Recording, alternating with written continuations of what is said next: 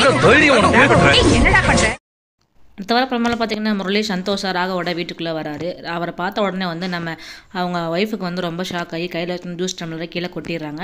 அந்த இடத்துக்கு பார்த்தீங்கன்னா ராகவ் உள்ள ஒரு ரூமில் வந்து வெளியே வராங்க. அவரை பார்த்துட்டு அவர் சட்டையை பிடிச்சி ராகவ் வந்து சண்டை போட போகிறாங்க வீட்டுங்களுக்கு என்ன நடக்குதுன்னே புரியல. ராகவ் என்னாச்சு? என்ன இப்படி பண்ணுற அப்படின்னு சொன்னாங்க சத்தம் கேட்டு நம்ம அபியும் அணுவும் வெளியே வராங்க. அப்போ தான் அபிக்கு நம்ம சந்தோஷ் வந்து மொழி மாதிரியே இருக்காரு அப்படின்ற உண்மை தெரிய வர மாதிரி ஷாக் கொடுத்துட்ருக்காங்க ராகவ் வந்து இங்கே பாரு சட்டையை பிடிச்சி சட்டை போட்டுட்ருக்காரு என்ன நடக்கும் அப்படின்னு அடுத்த வர எபிசோட ஃபுல்லாக பார்த்து நம்ம தெரிஞ்சுக்கலாம்.